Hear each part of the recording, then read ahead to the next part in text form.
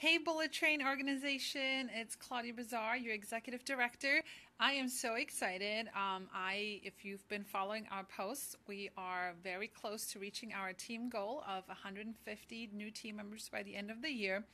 And I think we're so close that I think I can challenge you guys and myself to just get it done and over with by the end of October and then set a new goal for November and December.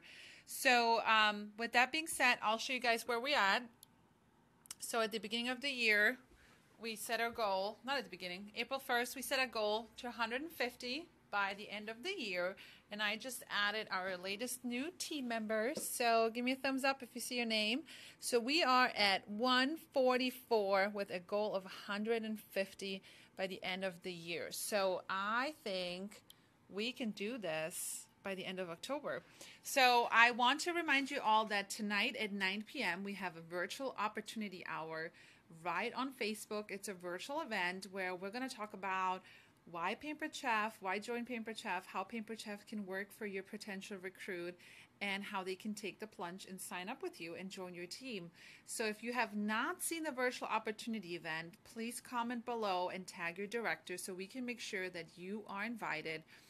And some words that you can use to reach out to people. So I don't want you to just invite your whole friends list and not talk to them. I actually want you to personally reach out to people first and see if they want an invite so something you can say is just say, hey, Hey, Allison. Allison's on, so we'll just use Allison. Hey, Allison. I just wanted to touch base with you and let you know that we have a one hour, no obligation, just come check it out, virtual opportunity event happening tonight at 9 p.m. And I think you would be great at Pampered Chef because I know you just had a baby and I would love for you to bring in some extra income for the holidays so you can buy your, your kids some extra gifts. Is that something you would be interested in? Can you come check it out? Or, hey, Allison, um, I know you you love to cook, and I see your food posts and recipes all the time. Have you ever thought about trying Pampered Chef?